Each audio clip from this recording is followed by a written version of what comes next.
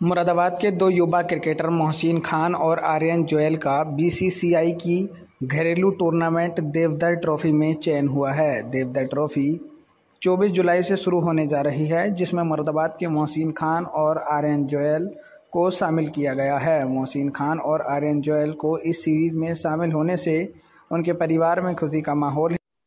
देखिए दोनों जो प्लेयर हैं, मोहसिन खान और आर्यन जोयल इनका देवदर ट्रॉफी के लिए चयन हुआ है।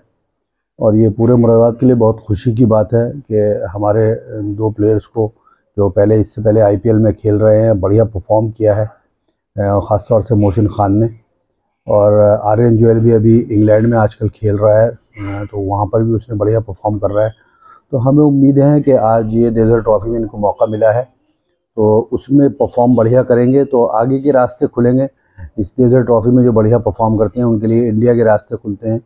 कि भाई इंडिया में आजकल नए लड़कों को मौका मिल रहा है जैसे ये जायसवाल को मौका मिला है कल। तो आगे आने वाले इनका भी भविष्य जो है बढ़िया है क्योंकि तो इसमें परफॉर्मेंस से इंडिया की टीम में इनके लिए जगह बनेगी। ट्रॉफी मतलब कैसा ट्रॉफी है टूर्नामेंट है ये? रणजी ट्रॉफी के लेवल का होता है या फिर और बड़ा? देखिए रणजी ट्रॉफी में जो अपने स्टेट से जो बढ़िया परफॉर्म करते हैं बच्चे हर स्टेट की जो रणजी ट्रॉफी होती है, उसमें जो बढ़िया परफॉर्म करते हैं, उनमें से चार टीमें बनाई जाती हैं और उनको चार टीमों में बांट दिया जाता है उन सारे प्लेयर्स को और उनके आपस में वनडे मैच कराए जाते हैं।